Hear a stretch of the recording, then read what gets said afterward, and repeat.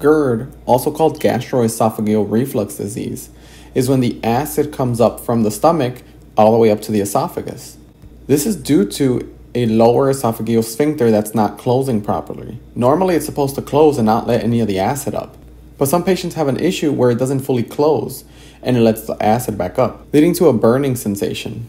The person at risk for this is someone big, so obesity and pregnancy.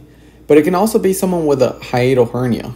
This is when the upper part of the stomach bulges out of the diaphragm, leading to more acid going up the esophagus.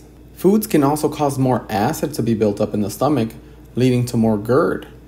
Foods like chocolate, coffee, fatty fried foods, soda, dairy, especially high fat dairy, smoking, alcohol, and peppermint can all cause or trigger GERD. The sign and symptom for GERD is going to be a burning sensation that's going up the esophagus. One of the complications for GERD can be aspiration pneumonia. This is when you aspirate something and it causes pneumonia. That something can be the acid. The GERD can come up and go into the lungs. This is especially true for unconscious patients, like in the ICU setting. Make sure you check breath sounds to see if they've got a pneumonia. The other complication can be esophageal cancer. This happens because of repeated damage to the esophagus. The cells have to keep repairing and dividing, leading to a higher chance of cancer.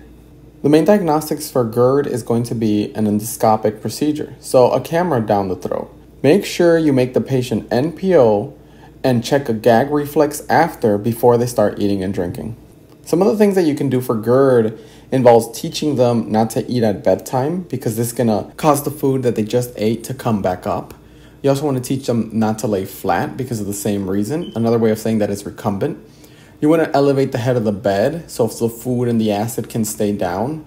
You want to tell them to eat small, frequent meals because if they eat big, greasy meals, then the acid can come up really easily because there's so much in the stomach.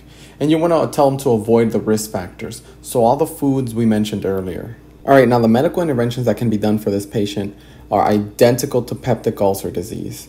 So that involves antacids like calcium carbonate, bismuth subsalicylate, sodium bicarbonate, PPIs or proton pump inhibitors like esomeprazole or pantoprazole, and H2 antagonists like famotidine or cimetidine, also ranitidine. Oh wait, scratch that last one. Ranitidine is no longer used because it causes cancer.